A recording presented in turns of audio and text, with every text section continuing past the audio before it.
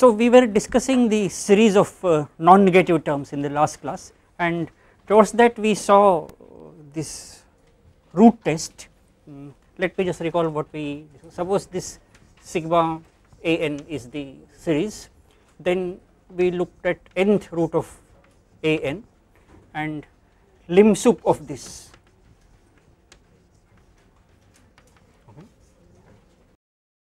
And what we said is that if this is bigger than 1 uh, sorry if this is less than 1 the series converges. If this is bigger than 1 the series diverges. And if this is equal to 1 this test gives no information. And we have also seen examples of both the both the types.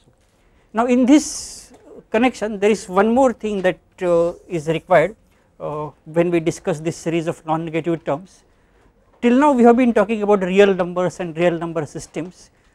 But for the discussion of this convergence or divergence of a series it is also convenient to discuss what is called extended real line. Okay? Extended real line. Okay? Extended real line means nothing but your usual real line along with these two symbols plus infinity and minus infinity uh, some books denote it as r star. Okay this usual real line r star. Okay. And these two additional symbols with the uh, usual properties associated with them. For example properties like uh, x plus infinity is infinity for every x in R etc okay. And similarly x minus infinity is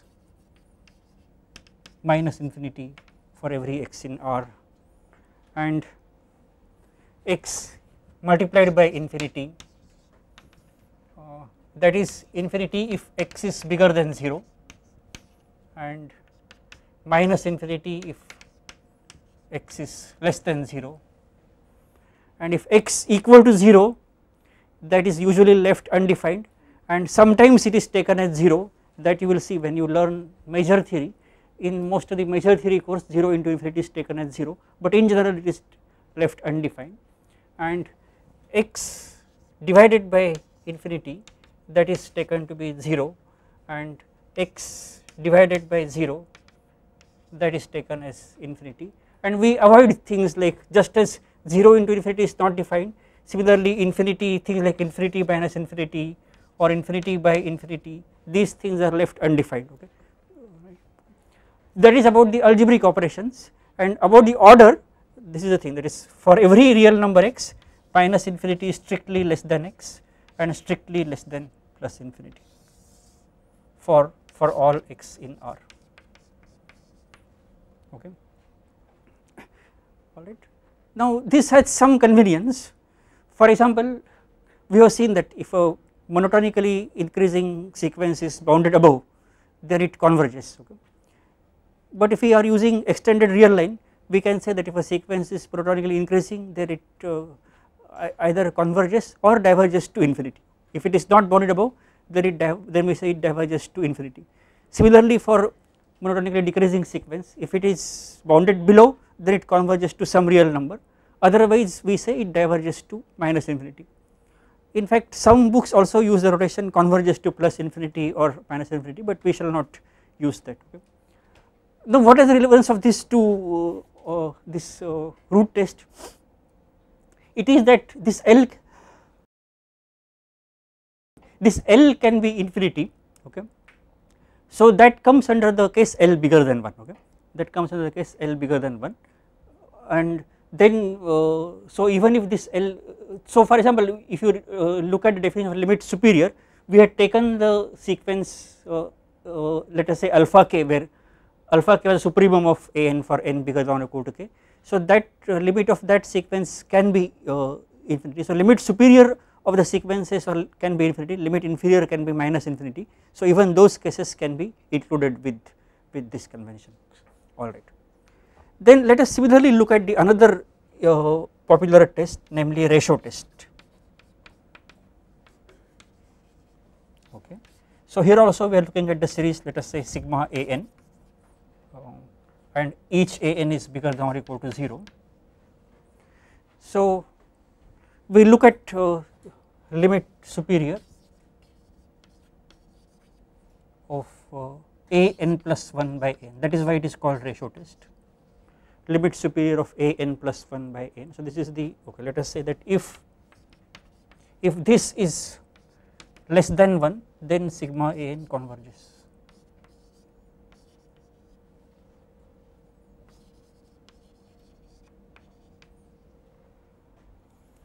and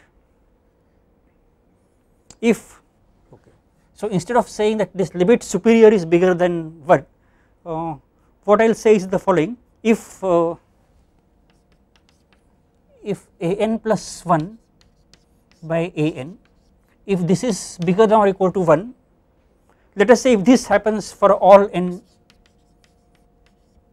bigger than or equal to some n 0 then sigma n diverges.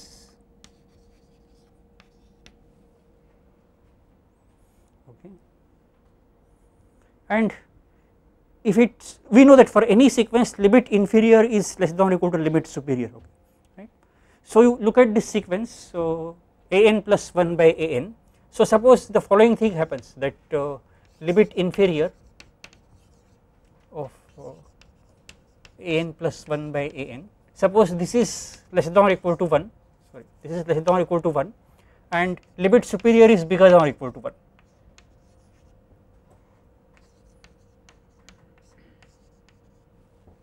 okay. Then the test gives no information okay. Then no information.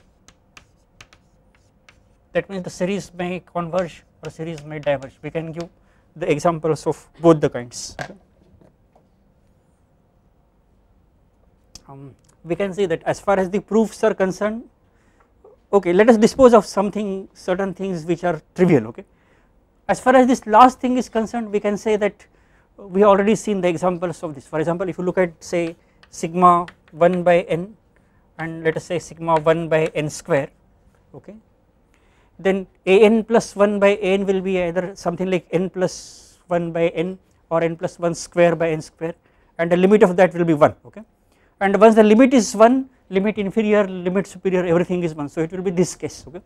And we know that this series converges and this diverges okay? So there is nothing new here. So the so this in this case this test gives no information right? Okay.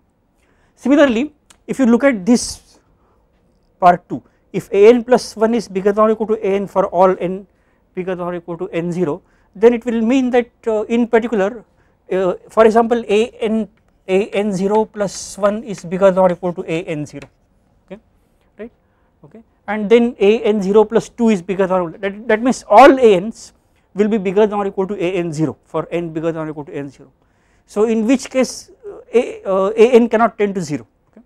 Since all of them are bigger than or equal to a n 0 okay and a n 0 is strictly bigger than 0 so the sequence a n cannot tend to 0 and hence the series cannot converge okay. Alright now let us look at this first case. If limit superior of a n plus 1 by a n is less than 1 we can suppose that limit superior is L okay. So let us say L is uh, let us say L is limit superior a n plus 1 by a n and if L is less than 1 then as we have done in the previous case we can always find some number beta which lies between L and 1 okay? So consider some number beta which lies between L and 1 okay? And then we can say that uh, uh, there will exist some n0 such that for all n bigger than or equal to n0 a n plus 1 by a n is less than beta okay, because L is limit superior. In fact exactly the same argument we use even for the uh, even for the proof of the similar case in the root test also. So we can say that uh, there exists n0 in n such that uh,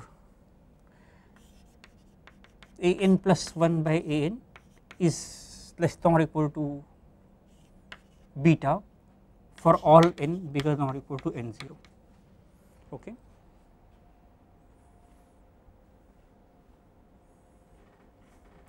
Then what we can say after this is that if that is the case for example apply this for n equal to n0 okay? And you will get okay I will I'll continue there.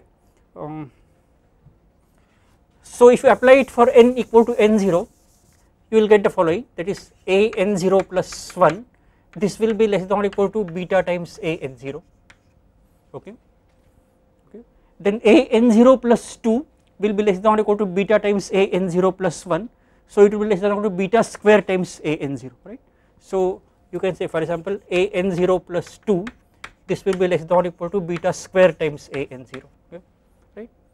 And in general you can say that a n0 plus k will be less than or equal to beta to the power k a n0 okay? In other words you can compare this given series to the series beta to the power n okay? Sigma beta to the power n. And this is a convergent series okay? Not beta to the power n let us say beta to the power n into a n0 okay? So for n bigger than or equal to n0 each term of the given series sigma n is less than or equal to the corresponding term of this series.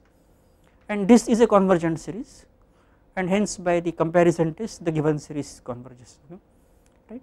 So that is the argument in this case. Of course given a series of positive terms you can either apply root test or ratio test to decide the convergence or divergence of that series. Of course it can happen that neither the test is applicable okay? Right. In general the ratio test is easy to apply okay?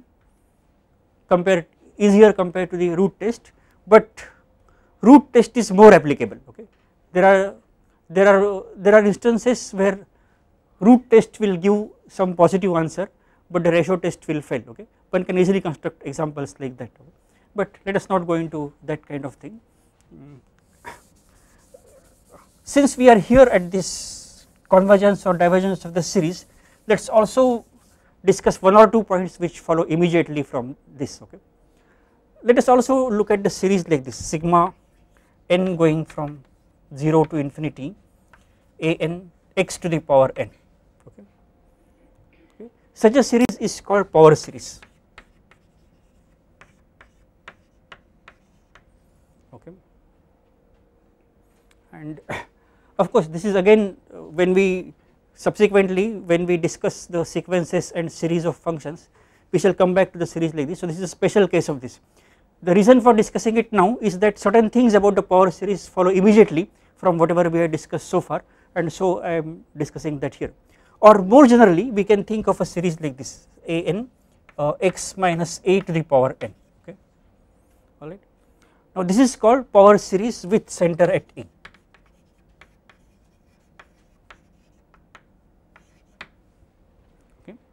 And whenever we are given a series like this okay the question to be asked is for what values of x does this series converge and obviously for what values of x does it diverge those are the questions. You can notice one thing very clearly here is that you can make a change of variable okay? You can write uh, let us say y equal to x minus a okay? You can write then this series becomes a n y to the power n okay? And so whenever the series converges for a particular value of y it will converge for the that uh, that value of x you can put y equal to x minus a and draw the appropriate conclusions for x. In other words what I want to say is that it is enough to discuss it is enough to discuss the series like this sigma a n x to the power n n going from 0 to infinity which is same as saying that without loss of generality we can assume that the center is 0 okay and it is enough to discuss that case and if center is something else we can easily draw the conclusions about those series by using the knowledge about this series. Hmm. Now if we instead of this series now suppose I look at this series sigma n going from 0 to n mod a n x to the power n okay then we know that whenever this series converges then this series also converges because we have shown that every absolutely convergent series is convergent. So we will look at this okay and let us apply for example the uh, root test for this okay. So if you look at the nth term here uh, it is a n x to the power n. So if you look at the nth root of that nth root of uh, mod a n into mod x to the power n okay then that is nothing but nth root of mod a n into mod x okay. So if you look at the lim sup of the whole thing that will nothing but since this is independent of n so it will be lim sup of this multiplied by mod x. So that is why what is done usually is that uh, what is done usually is that uh, we take uh, let us say L as lim sup of uh, nth root of mod a n. Okay. Right? And what it means is that if L into mod x is less than 1 if L into mod x is less than 1 then this series converges. If L into mod x is bigger than 1 the series does not converge. Uh, and if L into mod x is equal to 1 we can can't conclude anything from this information. And since every time we are uh, talking of things like L into mod x is less than 1 etc uh, it is convenient to take this number r as 1 by L okay? Okay? R as 1 by L. And then say that uh, and say that whenever mod x is less than r that is same as saying that L into mod x is less than 1 okay. So, so what it, what we can say from here is that if mod x is less than r then this series converges. Then and which is same as saying that this series sigma a n x to the power n converges absolutely.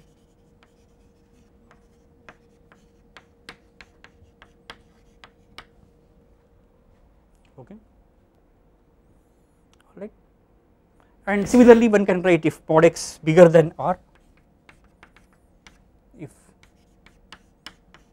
mod x bigger than r then we can similarly show that this series diverges. And we have to uh, discuss if mod x equal to r we do not know. We have to we have to test that case independently okay right. Now what we can see from here is that if mod x is less than r that is same as saying that x lies between minus r to plus r okay? That is same as saying that x lies between so that is if you look at this interval uh, minus r to plus r. So what we are saying is that whenever x is inside this interval the series converges absolutely right? And whenever x is outside this interval the series diverges okay? And the end points of course we do not know. We have to test it independently okay? And that is why this interval is called interval of convergence of the power series okay. we call this interval of convergence okay interval of convergence and this r is called the radius of convergence.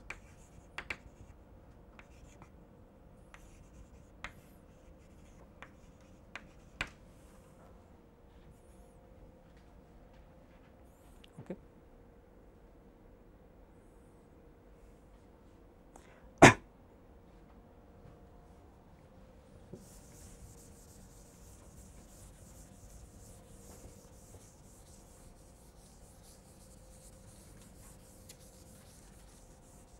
Let us take one or two examples. This one example which we have already seen sigma x to the power n n going from 0 to infinity. Okay. Examples.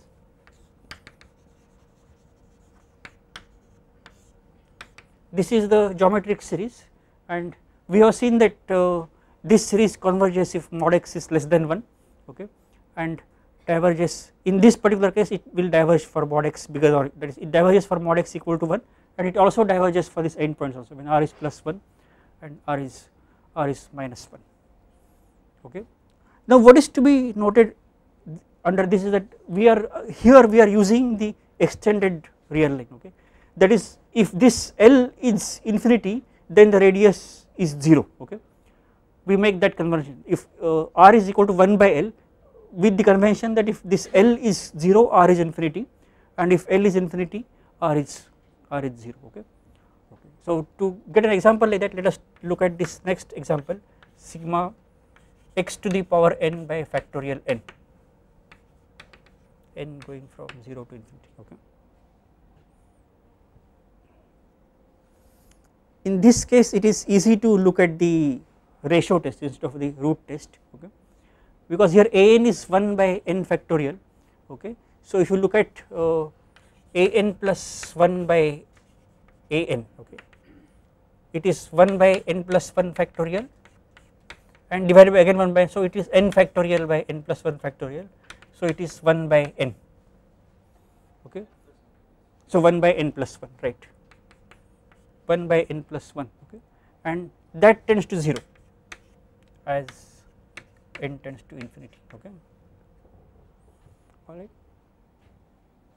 And using this we can show that uh, that that is same as saying that this of course I should have taken nth root of mod n but we can show that that is also 0 okay?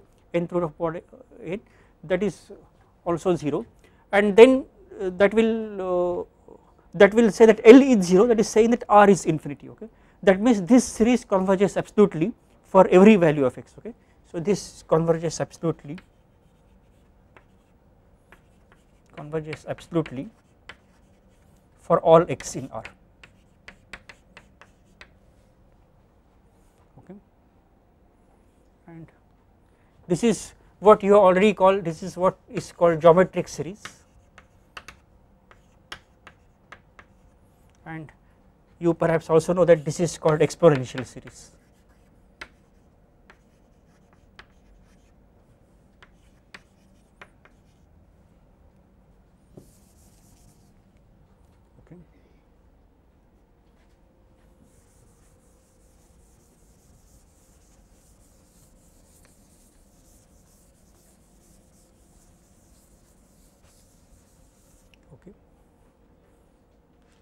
is this clear whatever we have done so far.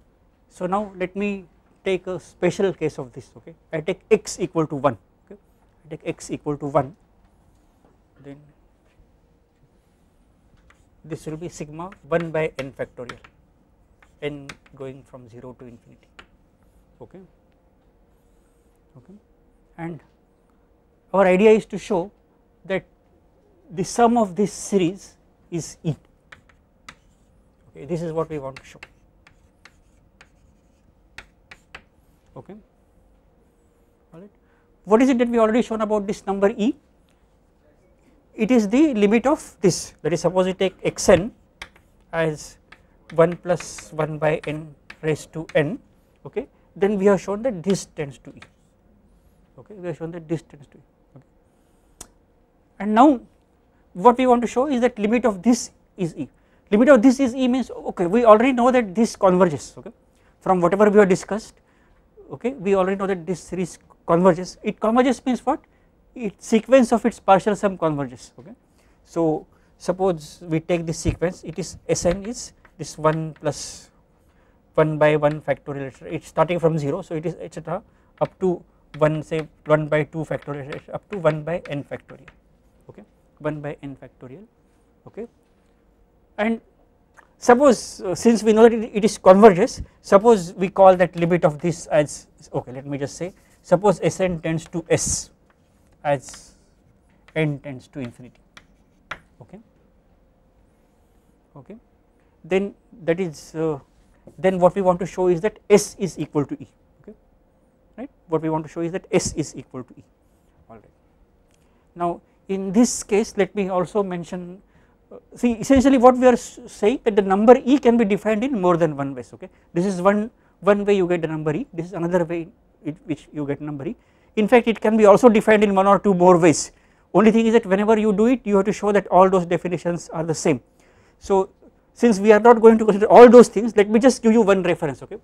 Uh, it is a book by one K.D. Joshi. Is a professor in IIT Bombay okay K.D. Joshi. The title is uh, calculus for scientists and engineers okay. Cal calculus for scientists and engineers. Okay. In this book there is a section okay and the title of that section is this E equal to E equal to E okay. okay. And you can predict from this title that the number E is defined in three different ways and this section shows the equivalence of all those three definitions okay. So two of those ways are these okay what we are discussing. There is one more way so if you are interested in that you can just have a look at this.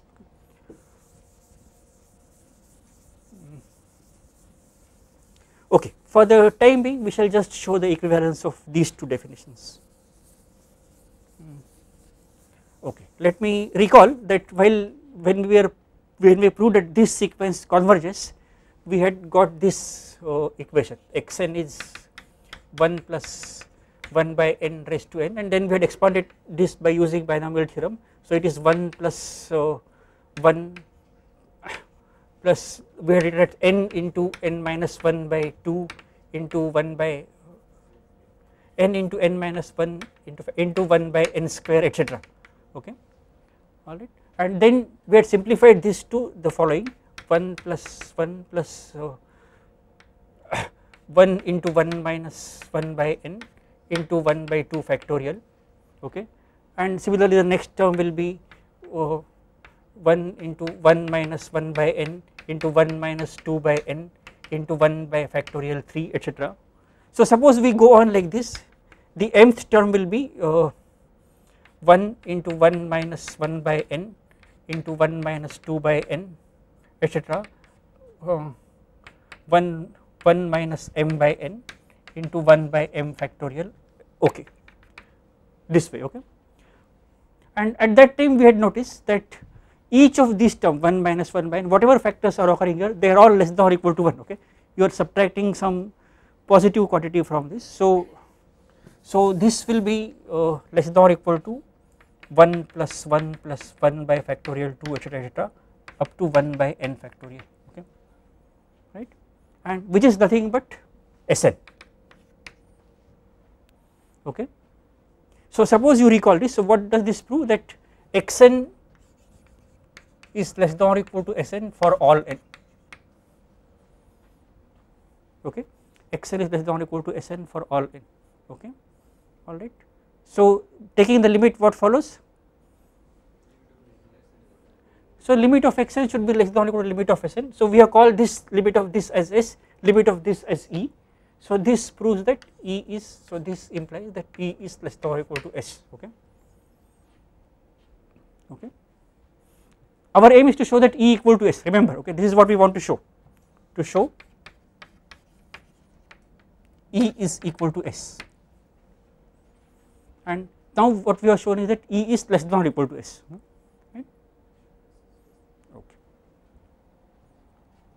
So what, what is left? We should also show that S is less than or equal to E.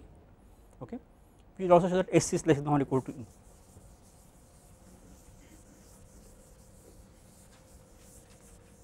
Okay. Now from this calculation you will see that suppose I take some m which is less than n okay suppose I take some m which is less than n let us say okay mm, 1 less than or equal to m less than n okay then what we can see from here is that uh, um, xn is this etc going up to up to this nth term okay. So suppose I ignore all these subsequent terms okay then I can say that xn is bigger than or equal to the sum up to this okay. So what I can say is that xn is xn is bigger than or equal to 1 plus 1 plus 1 minus 1 by n into 1 by factorial 2 etc. Let us say let me write one more term plus 1 into 1 minus 1 by n into 1 minus 2 by n into 1 by factorial 3 and suppose I go up to m and stop there okay.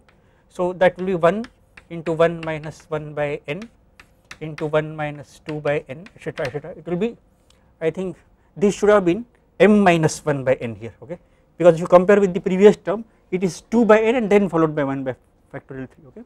So this goes up to 1 minus m minus 1 by n into 1 by factorial m okay okay. Now this is true for all n satisfying this. Okay.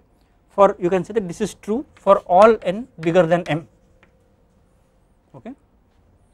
So what i say now is that keep some value of m fixed. Okay. So keep m fixed and let m vary. Okay. Keep m fixed and let m vary let n be bigger than n. Okay. So so keeping m fixed and letting n vary suppose i take the limit of both sides suppose i take the limit of both sides okay then what is the limit of this? This will go to e okay this will go to e. What will happen to the left hand side? Remember m is fixed okay.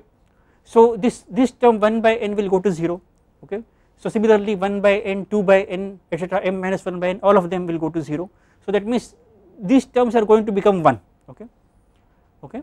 So what we can say is that that will imply that taking limit e will be bigger or equal to 1 plus 1 plus 1 by factorial 2 plus 1 by factorial 3 etc etc up to 1 by m factorial. Okay? Okay? That is nothing but Sm right? Okay? That is nothing but Sm okay. okay? And what did we prove now? We proved that E is bigger than or equal to Sm okay? But after taking the limit with respect to n E is bigger than or equal to Sm we can say for all m. Okay? E is bigger than or equal to Sm for all m. Okay? And hence we can say that since E is bigger than or equal to Sm for all m E is also bigger than or equal to S. Okay? Okay? So this implies E is bigger than or equal to S okay right okay right so what it shows is that these two limits E is equal to S are the same. That means the number E can be defined in these two different fashion. It is a limit of 1 plus 1 by n raised to n and it is also the limit of this series. Okay? All right.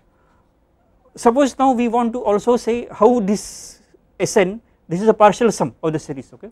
And so that means Sn goes to E means for large values of n the difference between Sn and E is small that means you can take Sn as an approximation of E Sn as an approximation of E for large values of n. Now the question is suppose we want to know how good or bad this approximation is okay. For example I can have a problem like this. I want to find a value of E let us say correct to 2 decimal places okay?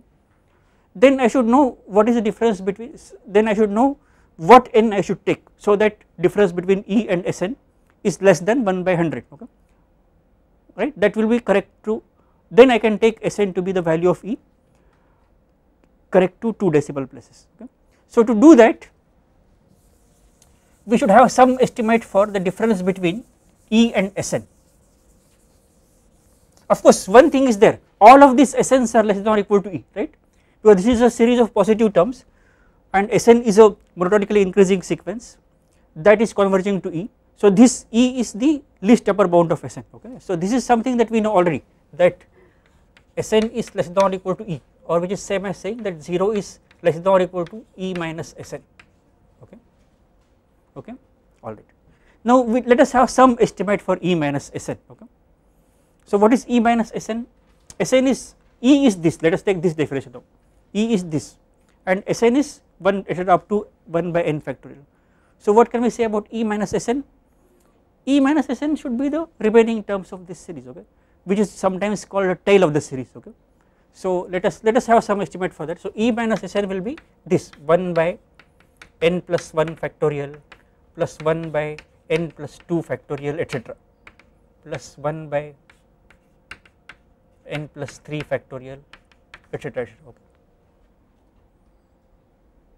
alright. Now suppose I want to have some estimate for this term okay then what I can do is that I will take this 1 by n plus 1 factorial as a common factor from everything. Okay? And write the terms which are inside as 1 by this will be 1, 1, 1 by n plus 2 okay? This will be 1 by n plus 2 into n plus 3 okay alright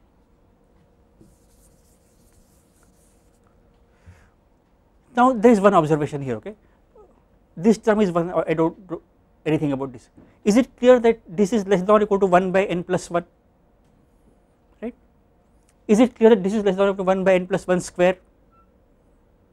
And subsequently subsequent term will be less than or equal to 1 by n plus 1 cube. Is that clear? Okay so we can say that this is less than or equal to this 1 by n plus 1 factorial into 1 plus 1 by n plus 1 plus 1 by n plus 1 square etc.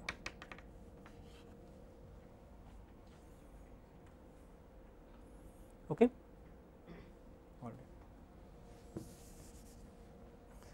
Now what can you say about this last thing? What is occurring in this bracket is a geometric series right? It is a geometric series and its common ratio is 1 by n plus 1 so we can take the exact sum of this series okay? And what is that sum? It is okay this 1 by n plus 1 factorial it remains as it is.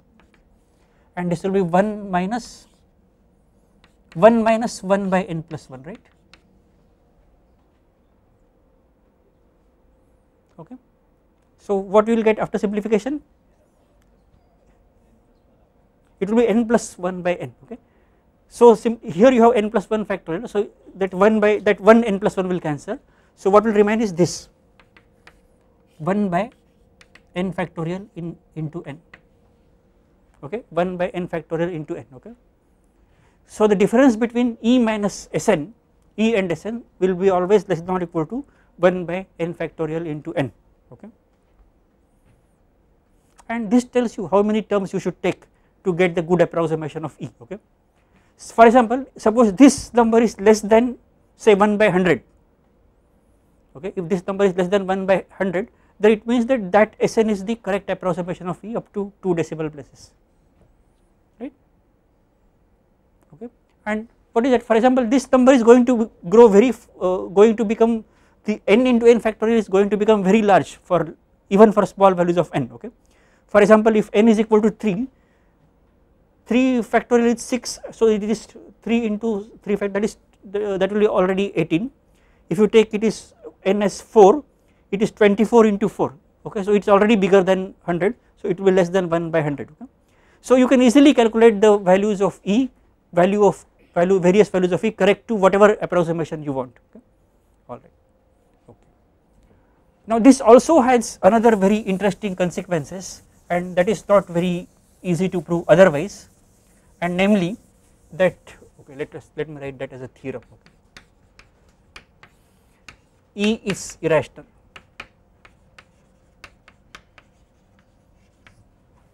Okay.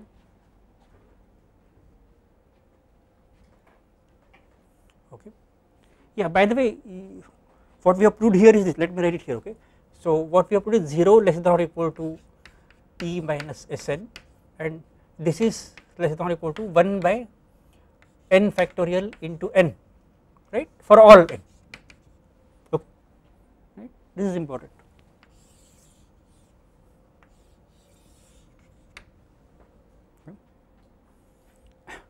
Till now you only know the how to prove that root 2 is irrational right? No other number you know how to prove that it is irrational okay?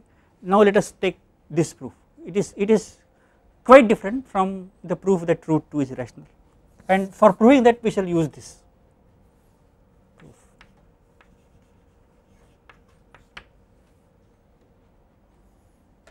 Anyway how does one go on proving that something is irrational?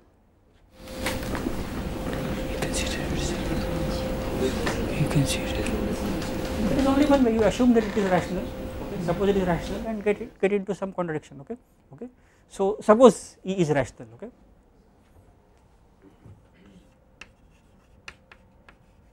suppose e is a rational means what? E must be of the form p by q. Okay? Suppose e is of the form p by q where p and q are integers and q not equal to 0 right? Okay? Can we also assume that P and Q are positive? because we already know E lies between 2 and that is something we know okay. So, so P and Q need not be we need not take negative numbers. So in fact I can say that uh, instead of this I can simply say P and Q belong to N.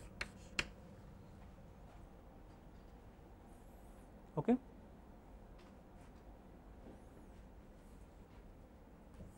That is clear? Okay. Alright okay. Alright. Now look at this okay? This is true for every n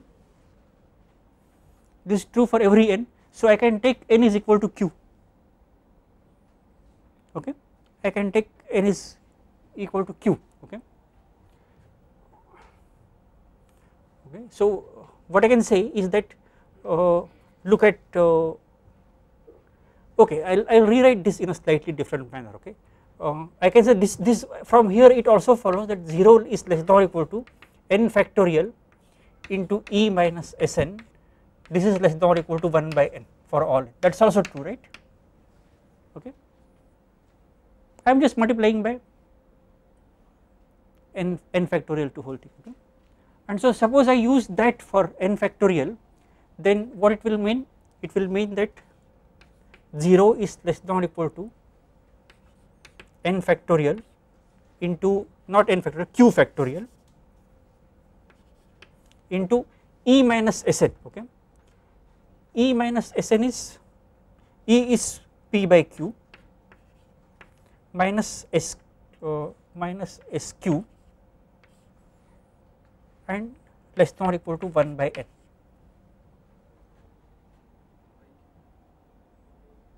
Say 1 by q.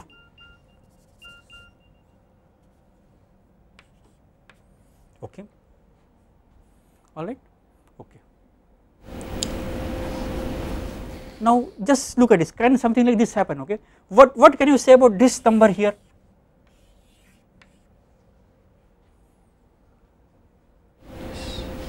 See let us look at this. Q factorial multiplied by p by q. Should that be an integer?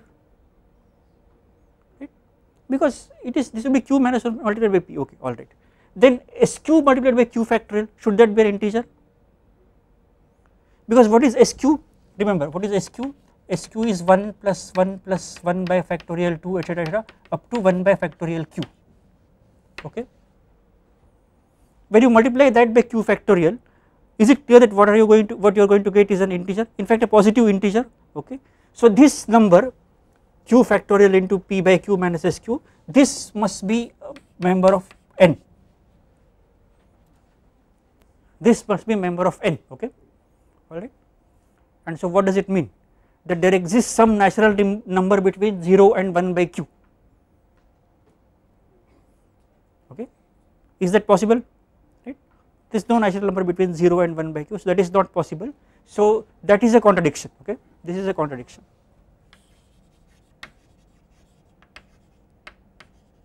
Okay? It is a contradiction to what contradiction to this assumption that E is rational okay? We assume that E is rational and that is how we got we started with this. E is equal to P by Q okay? And so that proves that E must be irrational okay. Now let us now come back. So far we have discussed the cases when the series consisted of non-negative terms and all the consequences of taking the non-negative terms okay. Now how does one discuss the convergence or divergence of a series when the terms are not necessarily positive. Of course one thing is that we can discuss absolute convergence okay.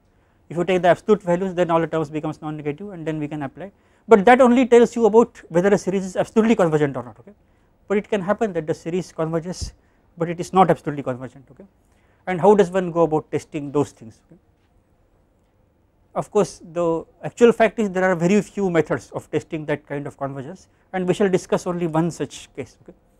And that is the case what is known as Abel's test okay. it is known as Abel's test okay? And Abel's test is applied to what are known as alternating series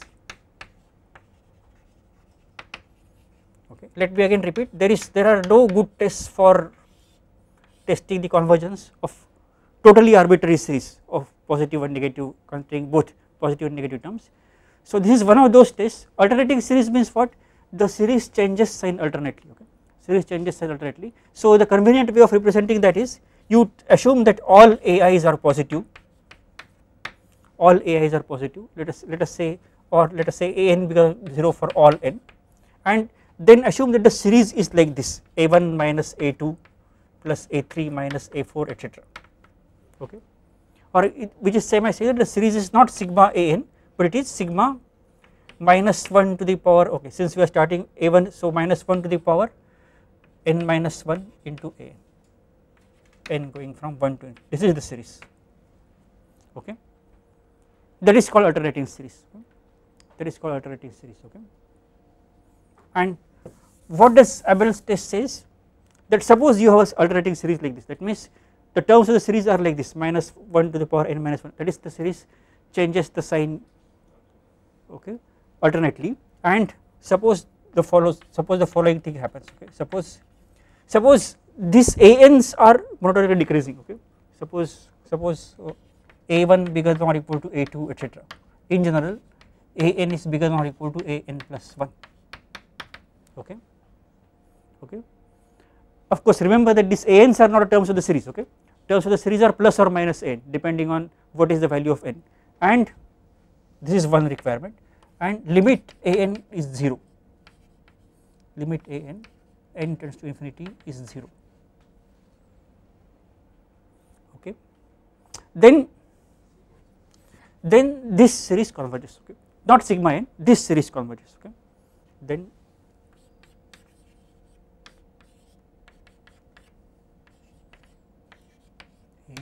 converges.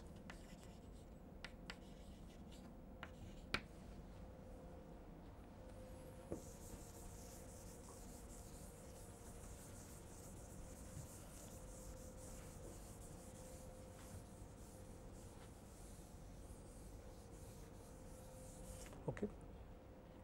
And we have seen that one of the ways of showing that a series converges is that its sequence of partial sums converges okay? In fact that is the only way really speaking if you do not know any other tests etc and to show that a sequence converges one of the ways of showing that it is a Cauchy sequence okay? And how does one show that a sequence is Cauchy? That again the usually that is so you should show that for the large values of n and m difference between Sn and Sm can be made small okay. So suppose we take something like this that is 1 less than or equal to m less than n okay 1 and look at Sn minus Sm Sn minus Sm okay. Now okay now Sn minus Sm will be what it will be the corresponding terms of the series starting from m plus 1 m plus 2 etc etc okay. Now only thing is we do not know whether m uh, that m plus 1 is positive or negative but that depends on whether m is even or odd okay. Let us to begin with let us assume that m is even okay? So, so suppose suppose m is even. Suppose m is even okay? Suppose m is even then Sn minus Sm will be the first term will be am plus 1 then minus am plus 2 etc then again plus am plus 3 etc etc it will go up to uh, let us say plus or minus n I do not bother whether it is plus or I will come to that little later okay? Okay. Now what we can say from here is that this will be less than or equal to uh, okay this will be equal to am plus 1 minus this am plus 2 minus am plus 3 right? And then minus next am plus 4 minus am plus 5 etc okay. Now if the last term is depends it, it will be it may be either minus an minus 1 minus n or it may be just minus a depending on whether n is even or not in fact that does not matter okay. What is important here is that each of these terms are non-negative right that, that follows because of its its monotonically decreasing okay. So each of these terms are non-negative okay. So that means you are subtracting some non-negative quantities from am plus 1 which is positive okay? Am plus 1. So does it follow from that that this means that mod Sn minus Am sorry mod Sn minus Sm this is less than or equal to Am plus 1 okay? This less than or equal to Am plus 1 okay? Only only problem is that we have only taken the case when m is even okay? We have only taken the case when m is even. If m is odd what will happen this will be minus am plus 1 then plus am plus 2 etc now how to deal with that case? What I will say is that after all you want mod Sn minus Sm you look at Sm minus Sn okay then that will be again am plus 1 minus am plus 2 etc etc and again you can do the same thing right? Okay right? Okay so uh, so whichever way you take it really speaking it does not matter okay? So even if the uh, what I want to say is that you can always show that plus or minus of this quantity will be less than or equal to am plus 1 in all cases okay? So whether it whether m is even or odd this will be the case. Is that clear? Okay? So this means mod Sn minus Sm is less than or equal to Am plus 1 always. Now what can we say about this quantity Am plus 1? You look at this last condition here. We have assumed that limit of nth term goes to 0 okay? Nth term goes to 0 so so this tends to 0 as m tends to infinity okay but we assume that m is less than n. So if m and m tends to infinity m and n both tend to infinity okay which means you can given any epsilon we can always find some n0 large enough such that wherever m and n both are bigger than that n0 this a m plus 1 is less than epsilon. But in that case mod Sn minus Sm will be less than epsilon okay. That is same as saying that this is a Cauchy sequence and that is same as saying that the series converges. Is that clear? Okay. So that is the test for convergence of uh, alternating series. Okay. And one of the well known examples of this where this is applicable is this series 1 minus 1 by 2 plus 1 by 3 minus 1 by 4 etc etc okay. Okay. You can see that here we have we have taken an as 1 by n. An as 1 by n. Okay so this is a monotonically decreasing sequence it converges to 0 and that is why this series converges okay? This series converges okay? At the same time it does not converge absolutely okay? Because if you take absolute values it will be 1 plus 1 by 2 plus 1 etc it will be sigma 1 by n and we have already shown that that series diverges okay. So this is an example of a series which converges but does not converge absolutely okay? I think we will stop with that. We shall make a few observations about this series of this type and then we shall proceed to the next topic in the next class.